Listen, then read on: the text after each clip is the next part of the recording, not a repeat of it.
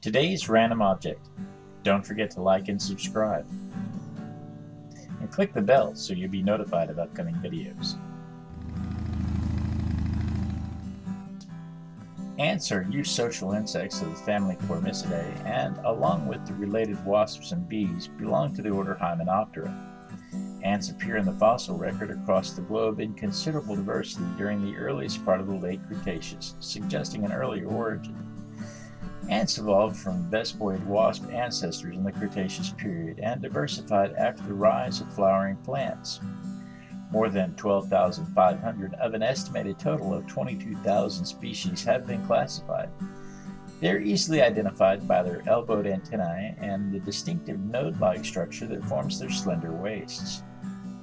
Ants form colonies that range in size from a few dozen predatory individuals living in small natural cavities to highly organized colonies that may occupy large territories and consist of millions of individuals. Larger colonies consist of various castes of sterile, wingless females, most of which are workers, as well as soldiers and other specialized groups. Nearly all ant colonies also have some fertile males called drones and one or more fertile females called queens. The colonies are described as superorganisms because the ants appear to operate as a unified entity, collectively working together to support the colony. Ants have colonized almost every landmass on Earth. The only places lacking indigenous ants are Antarctica and a few remote inhospitable islands. Ants thrive in most ecosystems and may form 15 to 25% of the terrestrial animal biomass. Their success in so many environments has been attributed to their social organization and their ability to modify habitats, tap resources, and defend themselves.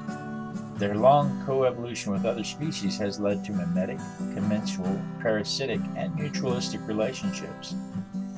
Ant societies have division of labor, communication between individuals, and an ability to solve complex problems. These parallels with human societies have long been an inspiration and subject of study. Many human cultures make use of ants in cuisine, medication, and rituals. Some species are valued in their role as biological pest control agents. Their ability to exploit resources may bring ants into conflict with humans, however, as they can damage crops and invade buildings. Some species, such as the red imported fire ant, are regarded as invasive species, establishing themselves in areas where they've been introduced accidentally.